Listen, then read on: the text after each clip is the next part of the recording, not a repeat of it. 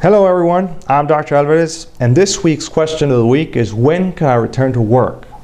Now this answer varies of course depending on your, uh, on your job. But for, more, for most uh, desk jobs we recommend a period between five to seven days um, depending of course on your activity levels. Now some people uh, may return a bit earlier to work. Uh, I've seen it. I've seen patients go back to work uh, in two to three days after discharge, although it's not recommended. You'll feel tired. You'll feel weak. Um, I've also seen patients take uh, more time to recover. So it all depends on your own recovery and how you feel.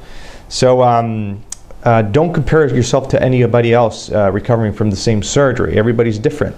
Uh, don't forget about the lifting restriction, uh, which is no more than 30 pounds the first 30 days, and that's in our practice. So this may vary from surgeon to surgeon, practice to practice. Make sure to check with your surgeon um, and how they manage this. Um, so that pretty much answers the question of the week. I uh, hope this information uh, helps you.